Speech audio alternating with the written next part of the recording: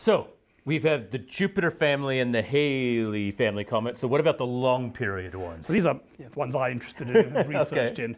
So let's show our solar system again. So we've got Sun, Venus, Earth, Mars, and Jupiter, Jupiter, out there. yep.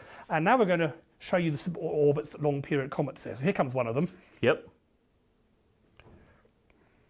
and another, and some more.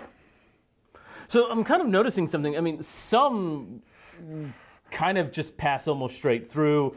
You know, some of these other ones behave maybe a little bit more like the shorter ones as they get near the sun, but they don't really do that kind of really quick curve around the sun like we saw in the other comets. Yes, so these are definitely orbits. But one thing you can see is they're coming from every direction. Yeah, and but also yeah, different inclinations, uh, but and some are in different directions, as you said, with the Jupiter family or the long the Halley's family comets as well. They can come in. So like the Halley's comets, they come from every direction. Yeah. But these things are not in elliptical orbits that come back. It's not that you can see in the inner solar system. They just seem to zoom in and zoom out again. Yeah.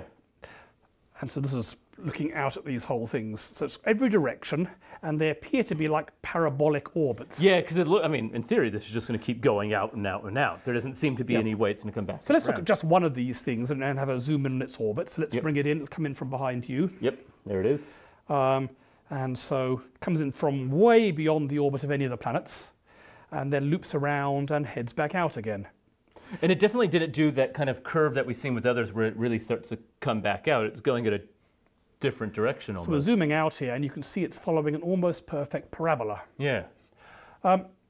So if you remember um, our families of orbits, Yep. so you can get a circular orbit very much like the Earth around the Sun, and you can get increasing eccentricity. These are conic sections where you take your cone and slice at different angles. That's right. Uh, so a more eccentric orbit would be an ellipse. And then you get a parabola.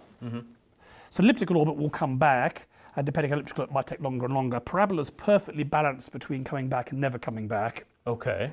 And then you get hyperbolic orbits, which will just whiz past and, And then go. disappear off. Okay. Um, and so short period comets, whether it's Halley's type or uh, Jupiter family, are elliptical orbits. Yep.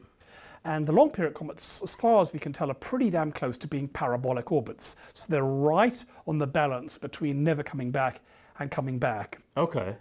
And to investigate that further, we're going to have to talk about the energy of these things. Okay. So let's have a bit of a digression now and talk about the energy of different sorts of orbits in space. Okay.